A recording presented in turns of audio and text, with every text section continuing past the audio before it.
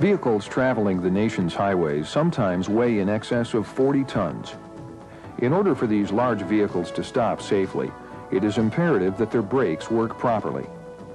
The most common brake system in use on heavy motor vehicles today is the air brake system.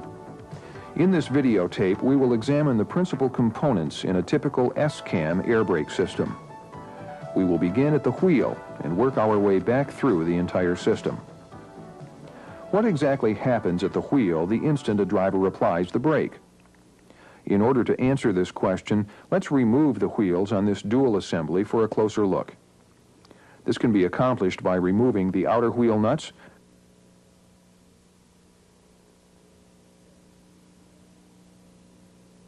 the inner wheel studs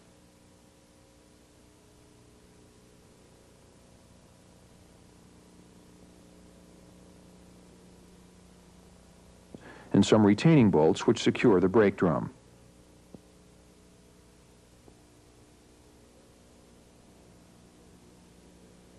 The component now being removed is the brake drum. It is made of cast iron and is fastened to the wheel hub.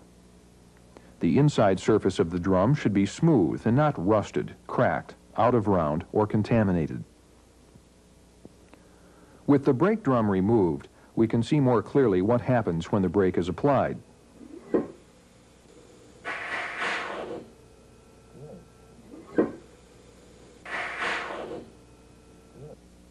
We are now looking at the brake linings, which are forced to move or pivot upon brake application. To see exactly what the brake linings move against, let's put the brake drum back into position.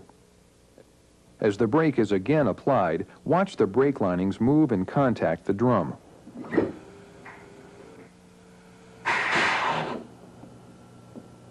Now, with the wheels back into position, watch the wheels stop as the linings are forced out against the drum.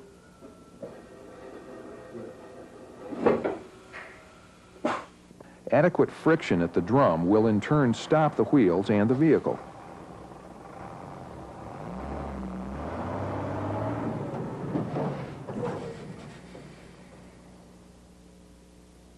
Brake lining should not be excessively thin, cracked, or contaminated with grease or oil. Let's go back and examine each brake component in more detail. The brake lining is connected to a metal surface called a shoe. The lining and shoe are usually fastened together by rivets. There are two brake shoes at each drum.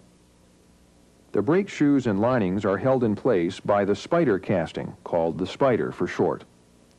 The spider is mounted to each end of the axle housing. This casting should not be loose or cracked. The spider holds one end of the brake shoes with anchor pins. When brakes are applied, the brake shoes pivot on the anchor pins. Anchor pins may sometimes rust, thus freezing the brake shoes in either the applied or released position. When the brakes are released, Return springs pull the brake shoes and linings back away from the brake drum and hold them stationary until the brakes are once again applied. These springs are highly stressed and may fail due to corrosion. The next two brake components we will discuss are the cam rollers, located at one end of the brake shoes, and the S camshaft. Watch these components as the brakes are applied and then released. When the brake pedal is depressed, the camshaft rotates. As the shaft rotates, the cam rollers ride the S-shaped cam to its high point. This action spreads the brake shoes, which in turn forces the linings to contact the brake drum, bringing the wheel to a stop. Friction between the brake linings and the brake drum produce heat. The brake drum absorbs this heat, then dissipates it into the atmosphere. Brake drums may sometimes become distorted or severely cracked. They can also become contaminated with oil or grease. These situations could result in partial or complete brake failure. What causes the camshaft to rotate? In order to answer this question, we focus our attention on the brake chamber, push rod, and slack adjuster. When the brakes are applied, air in the brake chamber forces the push rod out against the slack adjuster, which in turn causes the camshaft to rotate. Now let's take a closer look at these individual components. Brake chambers are mounted near each wheel and are used to convert the energy of compressed air into the mechanical energy required for braking. Let's examine the inside of a clamp-type spring brake chamber. The brake chamber is divided into two parts, the service chamber side and the spring brake side. The service side of the chamber provides braking for normal driving needs, such as slowing down or stopping. The spring brake side of the chamber is used for parking and emergency braking. Primary components in the service brake side of the chamber include a rubber diaphragm, return spring, push rod and plate. When the driver applies the service brakes, compressed air is forced into the service brake side of the chamber, moving the diaphragm and in turn the push rod. The spring brake side of the chamber includes a second diaphragm and a powerful spring that are used for parking and emergency braking. Air pressure in the spring brake side keeps the large spring compressed, holding it ready for parking or emergency braking. When the driver wishes to apply the parking brake, a dash-mounted valve is used to exhaust air from the spring brake side of the chamber. Notice the pressure gauge needle on the right as air pressure falls in the spring brake side of the chamber. This causes the large spring to expand, forcing the push rod out of the chamber and thus applying the brakes. If for any reason the air supply should fall to a dangerous level and the air pressure is no longer capable of compressing the spring, the large spring will automatically expand and apply the emergency brakes.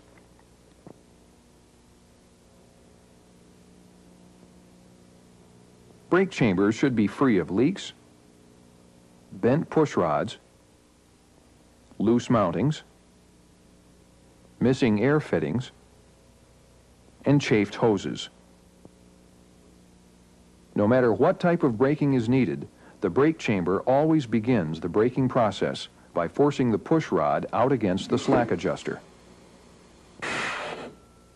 The push rod is the link between the brake chamber and the slack adjuster. The push rod is connected to the slack adjuster by a yoke and clevis pin. Without this connection, the brakes would not function at that wheel. Slack adjusters take linear motion from the push rod and change it into rotary motion at the camshaft. The slack adjuster, essentially a lever, also substantially increases the amount of force it transfers from the push rod to the camshaft. The camshaft has grooves that allow it to fit into the slack adjuster. Slack adjusters are equipped with an adjusting mechanism to compensate for brake lining wear. This device is important because as brake lining wear progresses, the push rod must travel further to apply the brakes. Some slack adjusters perform this adjustment automatically. To check for proper adjustment, pushrod travel is measured. Brake chamber size and type must also be verified in order to check for allowable pushrod travel. With a properly adjusted brake, a slack adjuster and pushrod should form about a 90 degree angle with the brakes fully applied. Let's take some time to review all we've covered so far. When the brakes are applied for service braking, air enters the brake chamber Diaphragm moves the pushrod forward. Slack adjuster rotates the camshaft. S-cam rides the cam rollers. Rollers force the shoes to spread. Linings contact the brake drum. And finally, the wheel stops. Thus far, we have examined each brake component starting at the wheel and moving back to the brake chamber. Next, we will examine the principal components which compress, clean, monitor, store, and direct air to the brake chambers. Let's begin by learning about the air compressor. The air compressor is an engine-driven mechanical pump which is the energy source for any air brake system. The compressor's output is controlled by the governor. When air pressure drops below a certain point, the governor activates the compressor. When air pressure returns to normal operating levels, the governor deactivates the compressor. From the compressor, air is directed to the air dryer, where it is cooled, filtered, and dried. The air dryer removes contaminants and moisture from the system. From the air dryer, compressed air is routed to the tractor's reservoir tanks, where air is stored until it is needed to apply the brakes. Usually, there are three reservoirs located on the tractor and two on the trailer. Air is routed to the various brake components through hoses and tubing designed to resist corrosion and high pressure. A series of valves throughout the system direct, signal, and relay air as well as control pressure to the brake components. Hose couplers, or glad hands, quickly connect air hoses from the tractor to the semi-trailer. Once these connections are made, compressed air will be routed to the trailer's reservoirs. Compressed air is routed through this complex system of reservoirs, air lines, and valves in such a way to ensure that the tractor would still be able to stop even if part of the air system were to fail because of trailer separation or severe airline or reservoir leaks.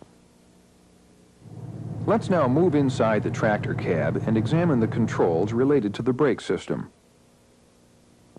Gauges mounted on the dash allow the driver to monitor air pressure in the reservoirs. If reservoir pressure should drop to a dangerous level, a visible warning device alerts the driver. This is called the low air pressure warning device. For normal stopping, the driver applies the service brake by depressing the brake pedal, sometimes called the treadle valve. When this pedal is depressed, brakes at each wheel are applied.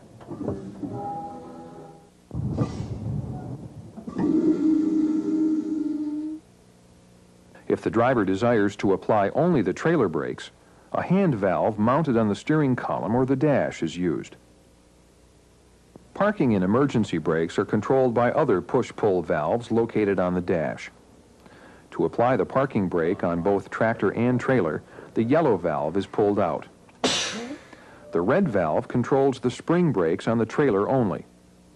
If air pressure is ever unexpectedly lost, the emergency brakes on the trailer would automatically be applied by the spring portion of the brake chamber, and the red valve would pop out. Let's briefly review the components involved in the routing of compressed air to the brake chambers. A compressor supplies pressurized air for the braking system.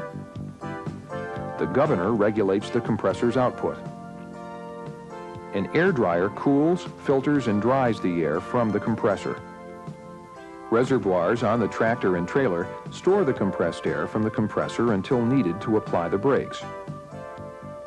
A series of valves throughout the system monitor, signal, relay, and direct air to brake components. Hoses and tubing move air through the system to the brake chambers.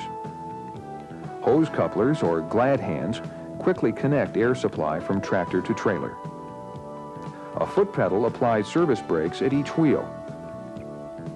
The hand valve applies trailer brakes only. Dash control valves regulate spring brakes for parking and emergency braking. Air enters brake chamber. Studies have shown that brake failure is a leading cause of commercial vehicle accidents. It is imperative that such critical items as brakes be inspected properly and that the inspector have a good working knowledge of component function. Proper inspection of an S-cam air brake system may prevent a serious accident and make our streets and highways a safer place to travel.